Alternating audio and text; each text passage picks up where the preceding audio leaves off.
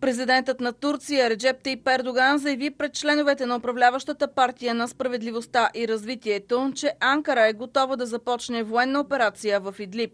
През секретарят на руския президент Дмитрий Песков определи като най-лош сценарий евентуална турска операция срещу Сирия в Идлиб. Ердоган заплаши ако страните, в които преговаряме, не направят в Идлиб това, което е нужно, ще го направим ние. За сега не сме получили резултат от преговорите, който би ни удовлетворявал.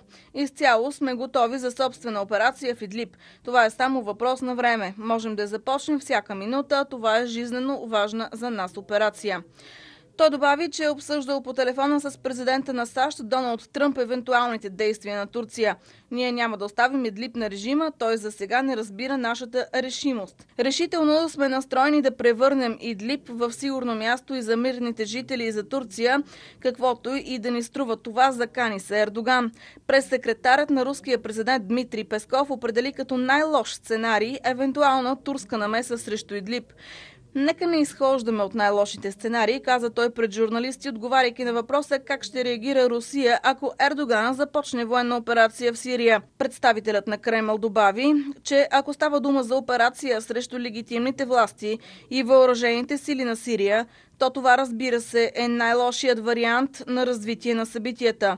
Ние възнамеряваме и за напред да използваме нашите работни контакти с турските колеги, за да не позволим ситуацията в Идлиб да се развие по пътя на по-нататъчното нагнетяване, каза Песков. Отговаряйки на въпроса, удовлетворена ли е Москва от последните споразумения с Турция относно Сирия, представителя на Кремъл каза, ние сме удовлетворени от споразуменията, които бяха постигнати преди година в Сочи и това беше взаимно удовлетворение. И ние вече абсолютно не сме удовлетворени, след като на територията на Идлиб започнаха настъпателни действия на терористи и терористични групировки срещу сирийските въоръжени сили и руски военни обекти. С това нашето удовлетворение приключи.